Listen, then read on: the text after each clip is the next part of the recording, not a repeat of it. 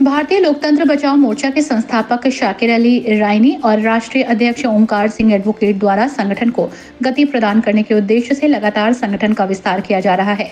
संगठन में मेहनती, ईमानदार, कर्मठ, जुझारू और युवा वर्ग को प्राथमिकता दी जा रही है, ताकि जनमानस की समस्याओं को शासन और प्रशासन तक पहुँचाया जा सके और उनका समाधान कराया जा सके।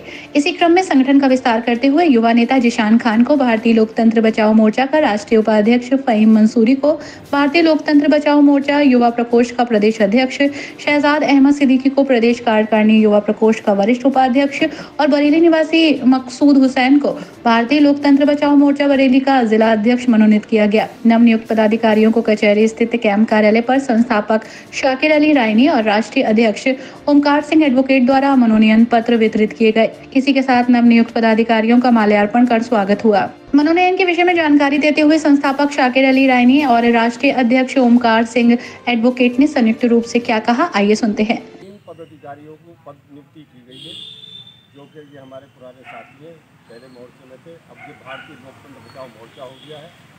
इसीलिए ये पुराने साथी हैं और जो है तो भारतीय लोकतंत्र बचाओ मोर्चा वो है, गरीबों की बात करता है, जनहित की बात करता है और जनहित के मुद्दे उठाता है।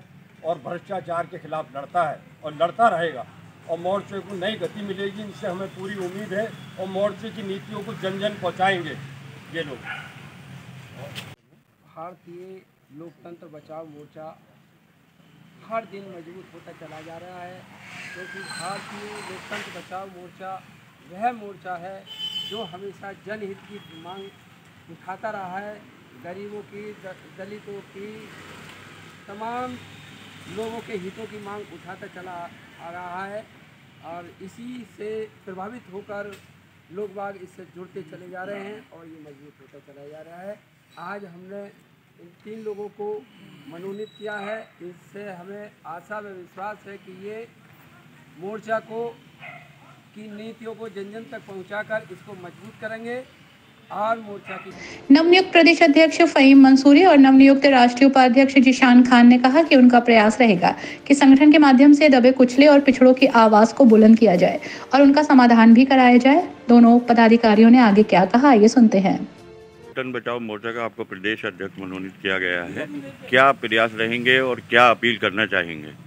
देखिए मैं आपके चैनल के माध्यम से कहना चाहूँगा कि आज भारतीय लोकतंत्र बचाओ मोर्चा का जो मुझे युवा का प्रदेश अध्यक्ष बनाया गया है कि मैं इसके अंदर युवा साथी अपने साथ जोड़ूँगा और भारतीय लोकतंत्र बचाओ मोर्चा को मज़बूत करूँगा। और इसमें जो है, जो हमारे गरीब मजलूम लोग जो होते हैं, जिनकी कोई सुनता नहीं है, उसमें हम अभी आपने पीछे देखा होगा कि हमारे जो इसके संस्थापक हैं और जो भी इसके जो है, वकील साहब है, अभी इन्होंने जो है बहुत अच्छा मुद्दा उठाया था।